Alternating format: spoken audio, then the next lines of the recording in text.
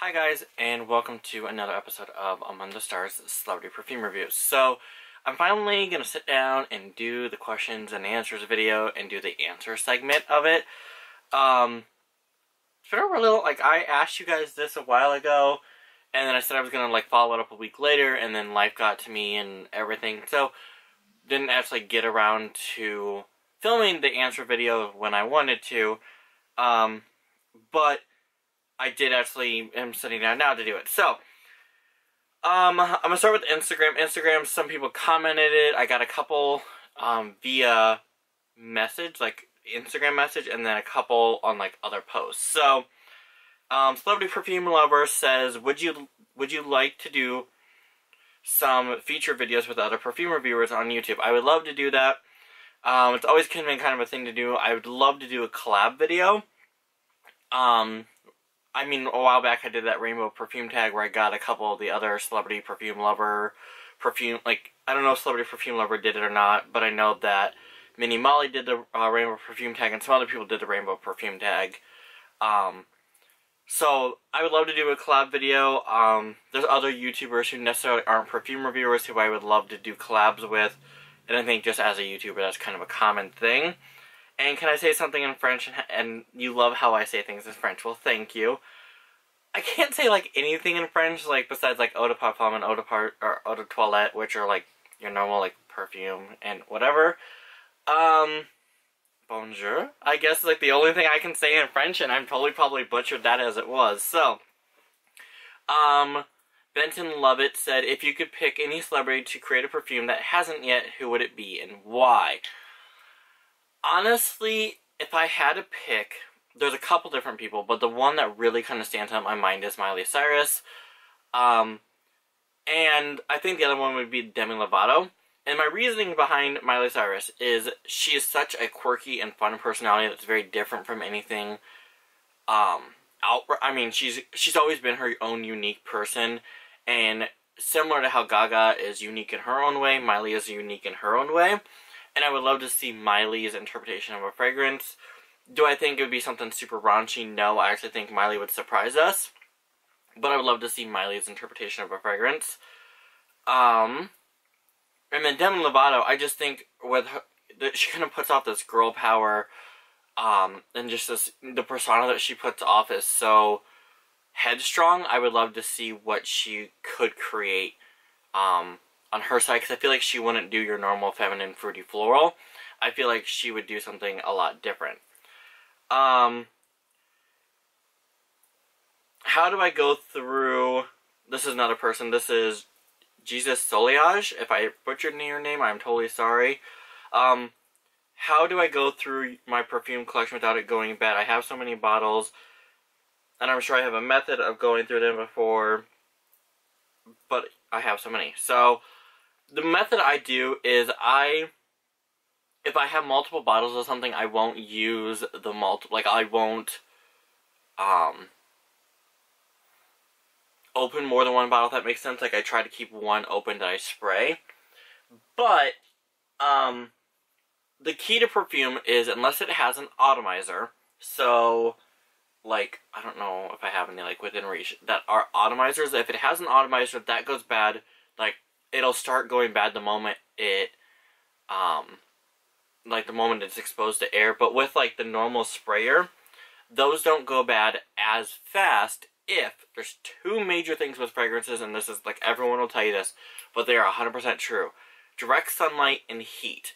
This perfume my perfume room is one of the coldest rooms in the house. It is always just about 60 degrees in here. Even in the winter it's 60 degrees in here. Um and the air is a cold air. It's not a hot air. So like even in the summer or in the winter, it's a cold air that's in here. And there are windows like back here. There are windows, um, but the bookcase is completely covered, and there's stuff over the windows to cover them to block out any transparent heat or anything like that to come through. Um, but even in the winter, every now and again, I will like slide a bookcase out and open up the window so that it stays cold in here in the winter it sucks to do film you know reviews and stuff in here because it is so cold in the summer it's nice because it is cooler um, but this room if i were to shut my lights off it is black in here. Like you cannot see anything in here. Um, at all. Like it is straight up black in here. I don't know if I've ever actually shown you guys how black it is in here. So I will show you real quick.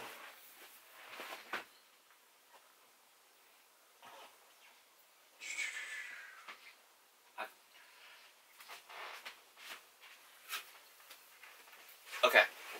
Sorry. My entire room is controlled by this light. So besides, like, my rope lights in here, if I shut off my filming light and I shut off this light, it gets really, really dark in here besides, like, my rope lights, which I can shut those off, too. Um...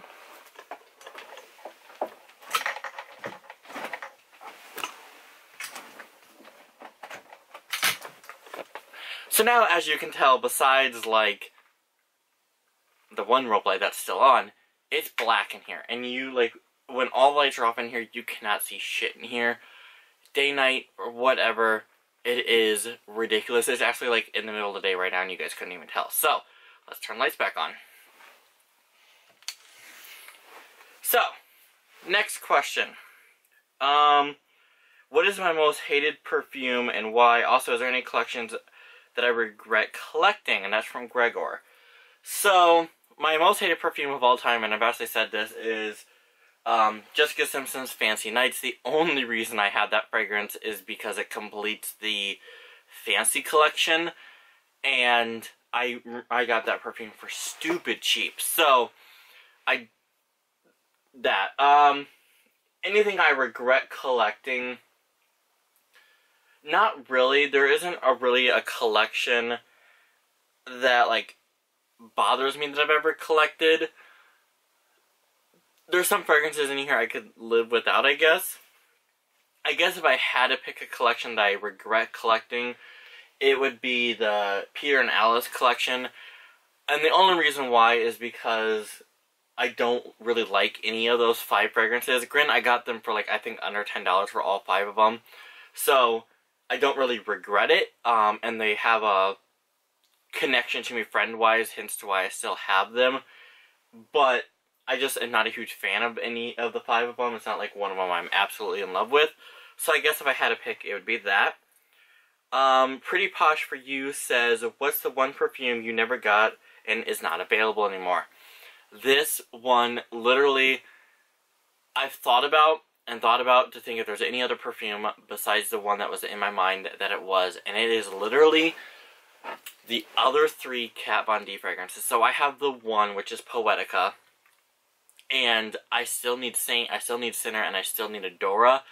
All three are super hard to get um, without spending a shit ton of money. I know that they're re-releasing Saint, and they're re-releasing Sinner, and I would really, really, really, really, really like to get Adora, Saint, and Sinner before um, the re-releases come out. But, I mean, this is like the one thing I wish I would have gotten. It's not available anymore. And if I would have remembered that Kat Von... Like, when I first started collecting, I probably could have got them easier than I can now. It's just happening to find them on a, any website that sells fragrances at the right time to get them. So, that would be the Kat Von fragrances. And last question on just the comments on Instagram is, do I have insurance on my collection? So, yes, um, I don't know how much you guys know about homeowners and stuff like that, if you can have um, homeowners insurance on your home, um, so that if anything to ever happen to your house, it is insured. This particular room actually has its own insurance um, that is completely separate. And my collection last time, I because you had to get it reevaluated all the time. Um, I believe the last time it was reevaluated, it was over like almost forty five thousand dollars. So yes, this room is insured. Um, there are some things in this collection that are priceless that are really, really hard to get a hold of. Granted, a lot of things they'll just take off of like the retail value. Some things are what they're going for online since they are collector's items. So, there's those. Um, we're gonna go to Instagram messages real quick. Because I know I got another one in Instagram messages. Someone said, what are your top two favorite perfumes of all time, and I can't say to anything Taylor Swift. Um, if I had to pick top two straight off, um, it would probably honestly be Nicki Minaj's Minajesty Exotic and Viva La Juicy La Fleur. I love, love, love both of those. And, um, those are probably my two favorites. And then the other one, this one is an Instagram message. It was in, um, another, uh, comment someone had said on another thing. And they wanted to know what my top five favorite perfumes are right now. And this is honestly gonna one of these is gonna come as a surprise to you guys, and it came out as a surprise to me as I started to fall in love with it. So I would say Minajesty Exotic, Viva La Juicy La Fleur, um, Paris Hilton's Gold Rush,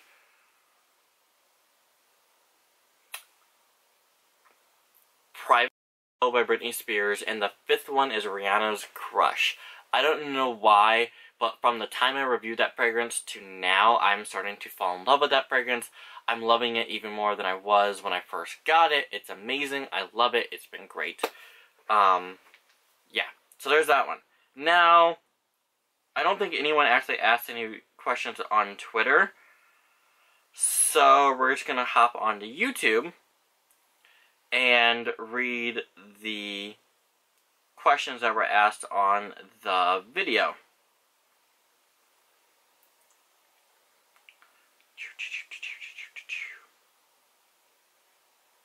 So there are do do do do do. I don't even know how many comments. Would I ever consider making a Rue 21 perfume review on my channel or something similar?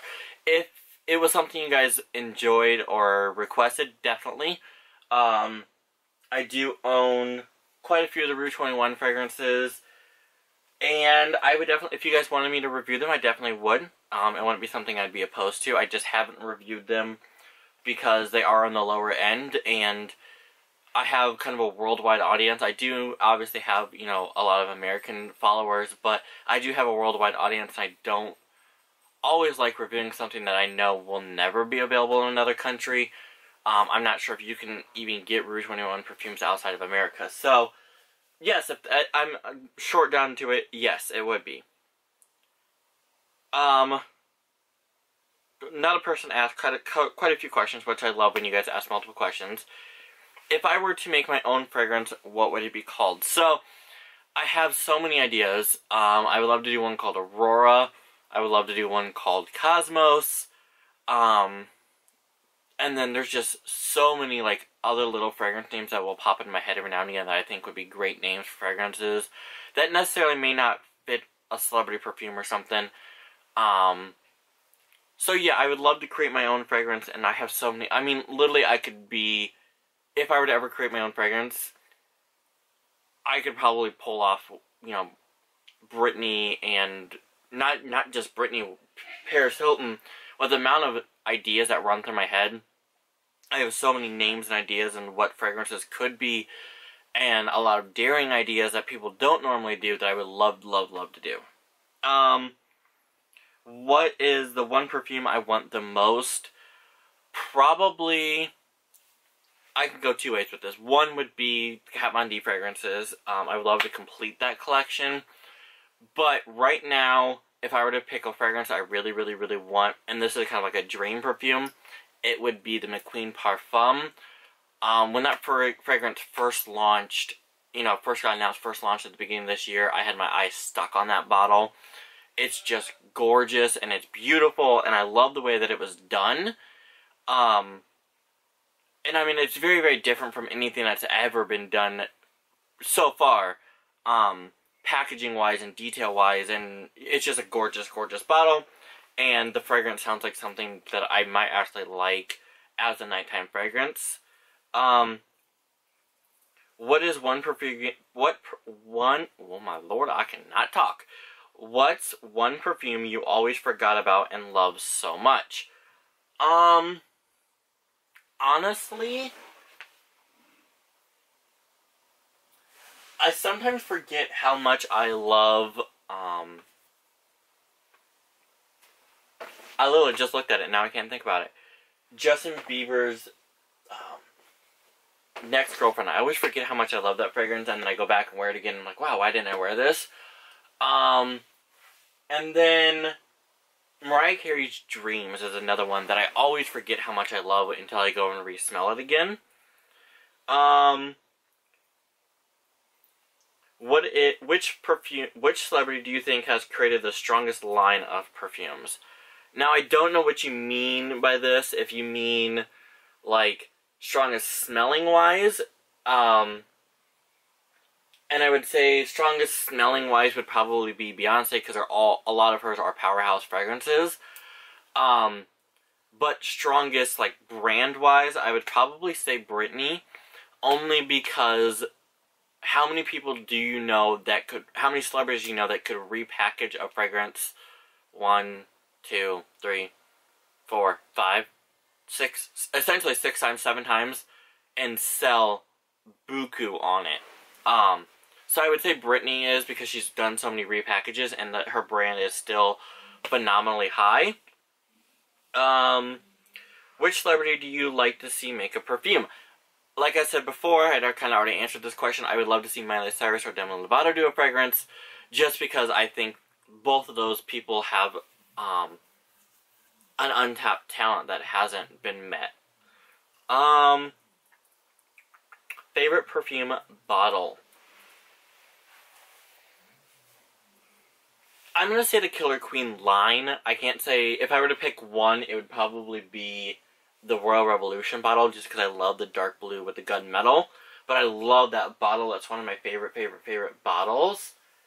And the this then the second one was favorite perfume box.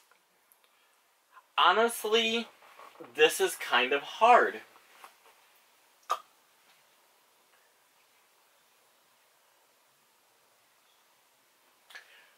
I would say either Cheryl Cole's Stormflower because I love how that comes apart, or the original Britney Spears Fantasy Box because I like how it's kind of that big trapezoid, like not trapezoid, but like how it origami. That's what I was looking for.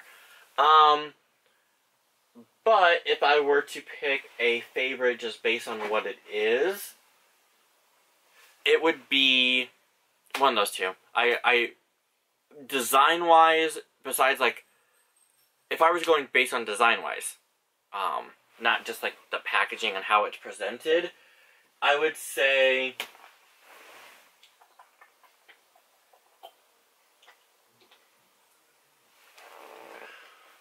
da dum dum dum. This is a hard question if I were to answer it this way.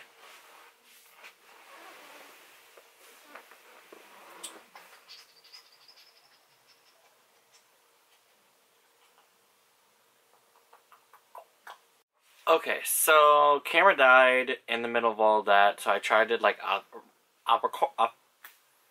I charged it a little bit, so we'll see if I can get through these next ones without dying. So Jesse said, "You have to give up that moment or Wonderstruck Enchanted. What would it? Which would it be?" And I would say, honestly, Wonderstruck Enchanted, only because I really, really like that moment and I have less things in my collections that are similar to that moment than that are the similarity to Wonderstruck Enchanted.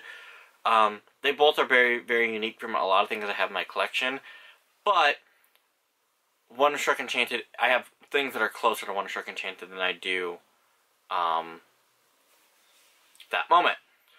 Um, Boy Review Fragrances posted a long comment to me, which is the, one of the sweetest comments I've ever, ever gotten. Um, and I just thank you for that comment. Um, and then someone said, silly question, I know, I know, but does my room have a nice aroma? They know that when they walk into Macy's and a perfume camera, you get all these lovely aromas. So, the thing with perfume counters is you're con you have people constantly spraying fragrances, which does it. Um, I actually have either my candle warmer going in here or a wallflower going in here at all times. So it kind of just, it has an aroma, but it's based on like that um, and not something else. And then someone commented on here and said that they're surprised that Demeter hasn't made a fragrance called Perfume Counter, which I totally agree with because I think that would be great. Um, two questions. Where do I get my fragrances from? Two people commented it. Um, a lot of times I get them from normal places, HSN, I'll get them from department stores, online, wherever that's 95, 99.9% of the time that's where I get them from. Um, it's either online or I'll get them as gifts. Um, and then if I had to choose one collection to wear for the rest of my life, what would it be? And honestly, I'm kind of torn between this, between the Taylor Swift collection because I love Taylor Swift so much, and the Nicki Minaj collection. And the only reason I say the Nicki Minaj collection, I love, you know, a lot of her fragrances, and there's such a wide range to them. And I don't think I could give up Minajesty Exotic. So, um, and then someone said, um, that they love my channel so much, and if I were to meet two friends through YouTube, who would they be, and who is my favorite person to swap with, and then One Direction or Taylor Swift. So, um, two friends I would love to meet. I have a lot of people who I would like to meet through YouTube that I've talked with in the past. Um, Melissa, Jesse. Why am I blanking on people's names? Donna. There's so many people, and I don't want to like go into like I don't want to pick two people just because I don't want to hurt anyone's feelings. Um, but there's a lot of people I've met through YouTube. Favorite person to swap with? Um, I haven't really done a lot of swaps. One person I've done a lot of swaps with was my friend Jessie, and I really enjoyed swapping with her because we have this bond in which we know what each other wants without even thinking about it. And then You and I by One Direction are Incredible Things by Taylor Swift.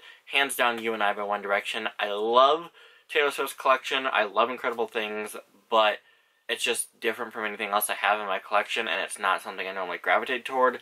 I gravitate more towards You and I because it's that kind of crisp, clean, pretty, effervescent versus like the. I get a very 80s vibe from Incredible Things, so there you guys go. There's the answers to my Q&A video. There will be more videos upcoming soon. Um, I have a bunch like written down on this little sticky note that I want to get done. So that'll be happening over the next week or so. So thank you guys so much for watching. Follow me on Twitter, Ava S Perfume, and Instagram, Among the Stars Perfume. Links are in the description below. As always, guys, thanks so much for watching. Bye.